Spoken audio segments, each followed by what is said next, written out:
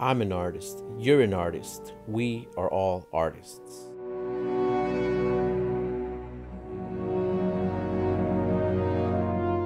The colors we'll need are white, blue, yellow, red, black, and brown. We'll also be using a variety of brushes and a black canvas. My brush here is a 3 fourths of an inch brush. Anything you have around there is fine. We're going to add some glare over here to the night sky in the center. I used some blue, add a little bit of white, and I did rinse the brush so that it could be slightly damped. So I'm going to use this now across here to establish a glare in the sky, right through the canvas from the left all the way to the right. So let's add a little bit more underneath here and then no more paint. Let's just use what's already here. We blur it, move the brush to blur it, to rub it so that it can become soft and soft as it goes into the night sky. Then let's even dip the brush in the water and then just kind of slightly wipe it off. That will create a softer touch because there's less paint. So let's add some stars to the night sky. Let's protect our surroundings, make sure that you don't get paint anywhere. So now, let's take a small brush. Here I have a detail brush. I'm gonna dip it into water and then dip that wet brush that's dripping with water into some white paint a couple of times so that it will be very watered down. And then with that detail brush, using my finger, I'm gonna sprinkle stars. And after we add as many stars as we want, let's let it dry for 15 minutes. So now here I have another brush. This is a number 10 flat brush. Anything around there is fine. If you have anything in that vicinity, make sure you rinse it and dry it with a paper towel. Then take some red, mix it with some yellow to create a fiery orange. Add a little bit of white too. Now that brush being damp helps us a lot because here it mixes slightly with the color. And we're gonna add some colors that are kind of soft. You'll see what I mean in a second. At first it's very strong and abrupt. Then we start just expanding, adding it, and pressing it nice and firm, nice and hard onto the surface so that it starts to fade as we expand. We want it to be a glare. I dip it in the water, then slightly, just lightly wipe off some of it. And now that is even softer as I apply it to the canvas. As you see, it's fading and fading as we proceed. And we're gonna do the same thing for the other side.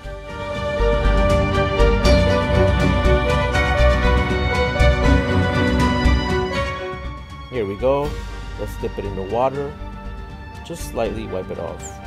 It's going to produce a soft, ethereal, translucent effect. And by the way, what we're painting here is the mothership hovering above the Devil's Tower Mountain. And also, by the way, my name is Juan, and it's good to see you. For those that are here returning, and for those that are here the first time, welcome to Ethereal Arts Studio. Please subscribe to our channel. So now let's let this dry for like five minutes. Let's go back to a medium or small to medium sized brush. Here I have my number 10 flat. I'm gonna take some black paint and I'm gonna start painting the actual mothership. So it's very simple. As you can see, it's a curved line. It's sort of like an almond shape. This is the bottom of the ship. And then there's an even larger part.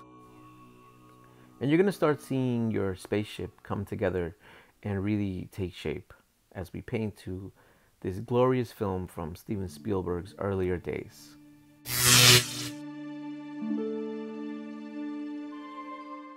So now let's go small. If you have a detail brush like this one, go ahead and let's use it. Let's add some spires or some spikes that are coming out of the spaceship. It has a, an elaborate design, but we're gonna make it easy. And to all the fans out there, I wanted to let you know that this is actually the fifth Spielberg themed uh, paint tutorial that we have made. We have tutorials on Jaws, Jurassic Park, Raiders of the Lost Ark, and E.T. So now let's wash our brushes. Let's also let this dry for a good 15 minutes once again.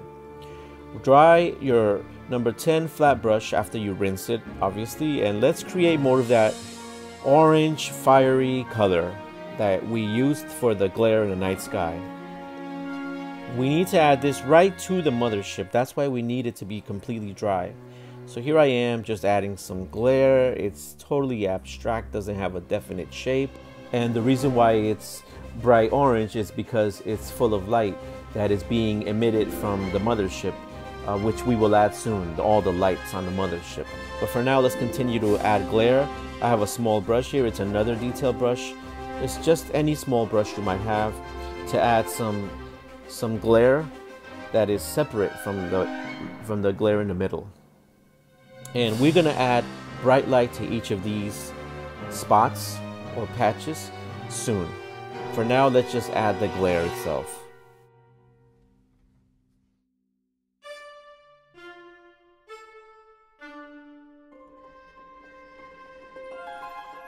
Let's add a hint of uh, actual light hitting the curve of the spaceship here.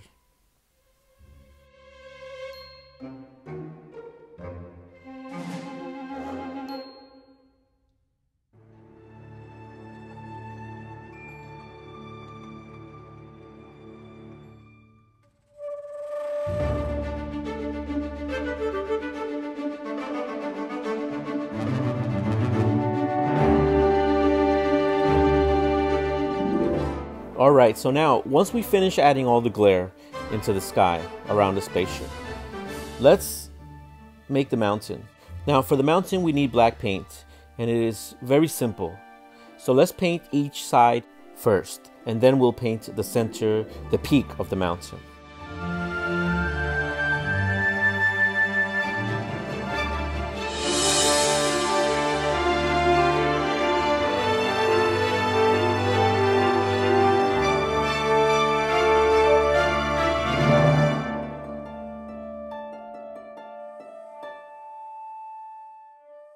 And now let's paint everything below this horizon that we just created.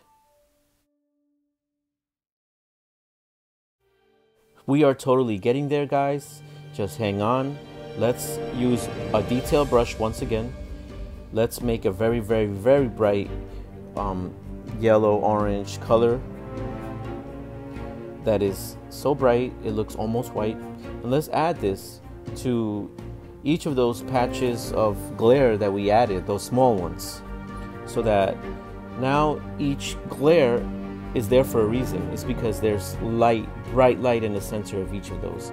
The lights of the spaceship.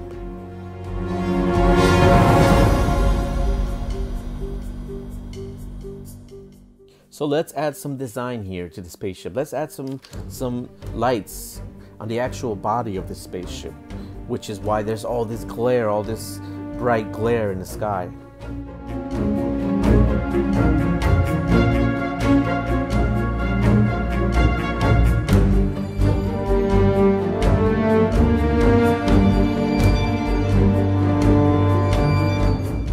Alright, so now I've allowed the mountain to dry for about 10 minutes. You know, in between that time I painted the lights on the spaceship now let's add some more details to the mountain itself. Let's make a gray color. And this is so we could paint the station where the scientists are at the base of the mountain.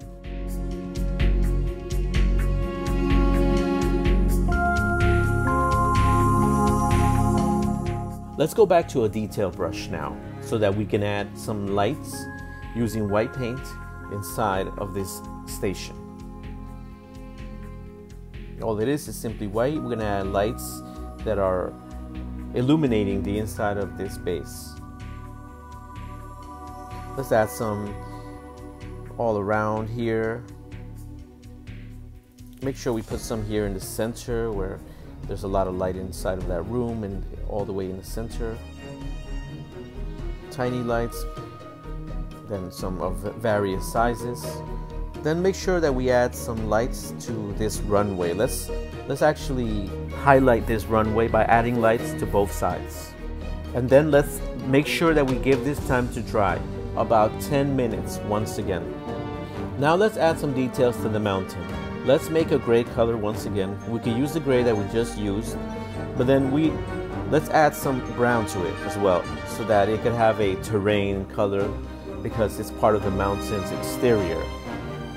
Once we have the color that we want, it's not too bright, let's add some details, some bumpiness, some ground texture to this mountain.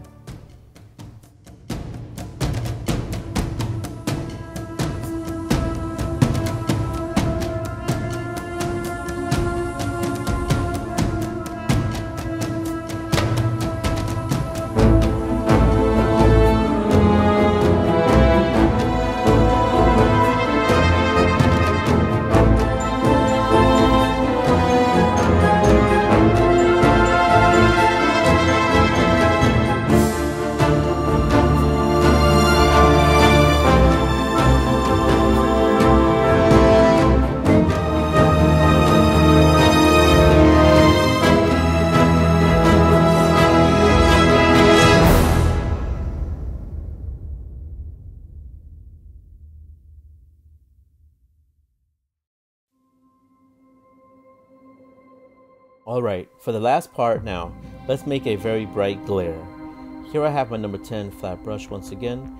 I have some white paint. My brush, as always, is very damp. Now let me take a little bit of blue. Let me add a little bit more blue. We want it to be a bluish glare. This is for the inside of the base once again, but I've allowed it to dry at least 10 minutes.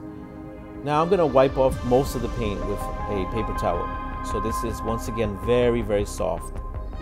I apply it, and at first it might seem very imposing.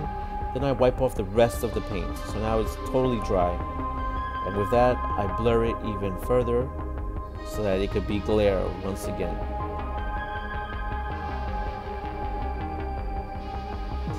Now I'm gonna just reapply some of the lights so that they can be a little bit more visible. After this, your painting is ready for you to sign it and to gift it to someone or to hang it up in your favorite room.